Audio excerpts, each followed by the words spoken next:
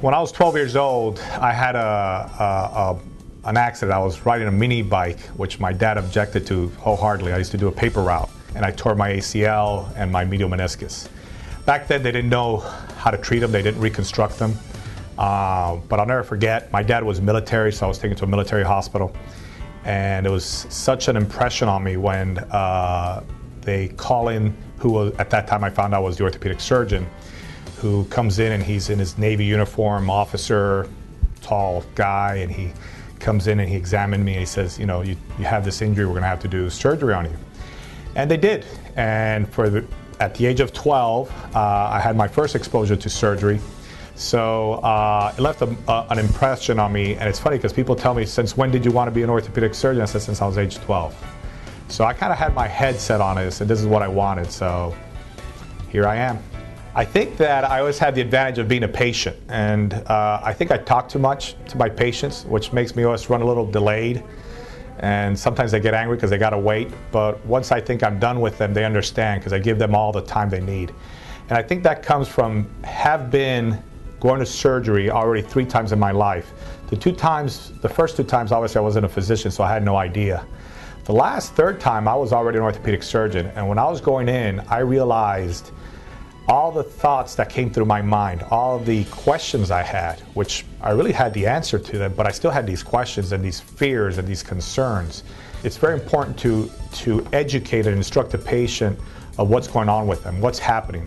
I like to show them their MRIs, X-rays, and explain it to them so they understand. I think if they understand, then they can participate in their care. So uh, I, was, I think I have an advantage in that sense of had been under the care of an orthopedic surgeon for so many times. Um, I like to pride myself like when I give an injection because the size of the needle counts and I use a very small needle because that's what they used to use on me and I know there's a difference to that. So there's details that I think help in that sense. In the field of medicine in general, we're taking care of disease. Uh, we're taking care of something that eventually always wins the battle. Um, but I think in orthopedics, we're able to fight very strongly back on the disease point of view you have somebody who has a very arthritic joint, we can replace it and we can give them back their quality of life. Um, if they broke a bone, we can fix it, mend it, and give them back their quality of life. And um, for the same reason, I think in the in the world of research, they're they're advancing so much.